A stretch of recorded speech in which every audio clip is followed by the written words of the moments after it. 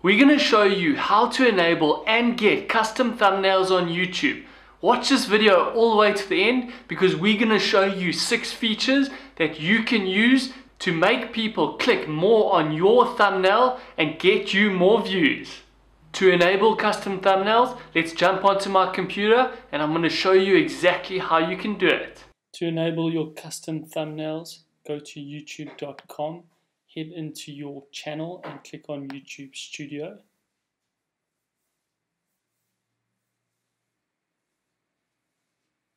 Then you're going to come down to the left hand side and click on the settings tab. Go to other settings and click on advanced channel settings. You're going to come under the channel settings and click on status and features. The first thing you need to check is under your YouTube channel name, is it verified? If you're not verified yet, then you won't be able to enable custom thumbnails. We've made a video on how to verify your YouTube channel. So if it isn't verified, click on the link in the top right here and you can go onto that video and verify your YouTube channel. It's really quick and easy and then come back to this video.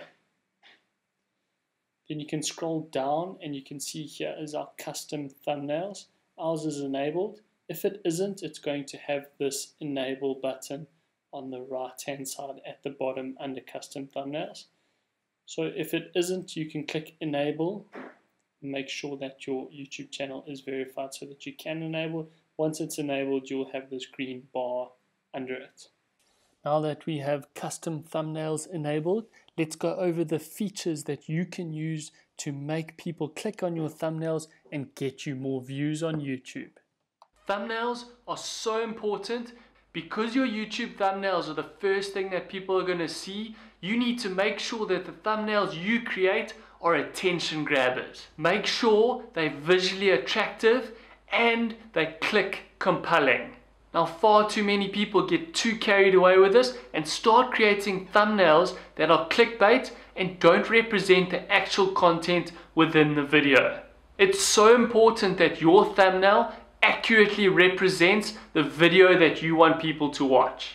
You don't want people to click on your video because of your thumbnail and then leave the video after the first few seconds. YouTube will identify this as a negative trait on your video and they'll show it to less people. So don't go out and create thumbnails that are clickbaity and that don't accurately represent the content within your video. To show you how we go about our thumbnail design, we're going to show you a quick quiz on which of these thumbnails you think you would click on.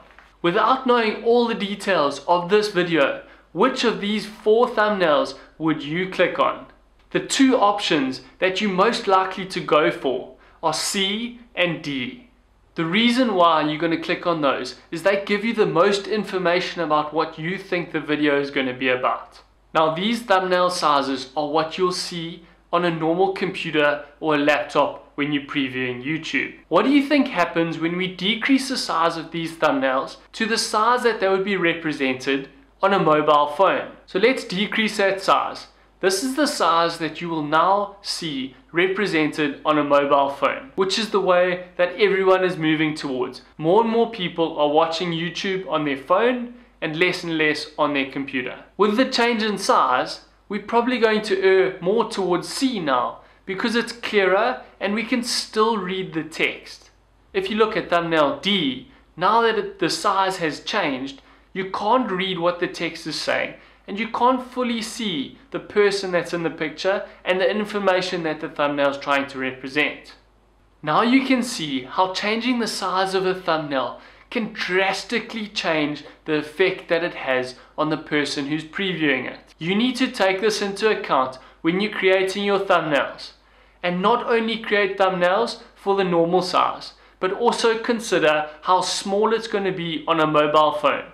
And don't forget, some people are watching YouTube on their TV. So your thumbnail is going to appear much larger on a TV. And you need to check all three of these sizes and how your thumbnail looks when it's at these three different sizes.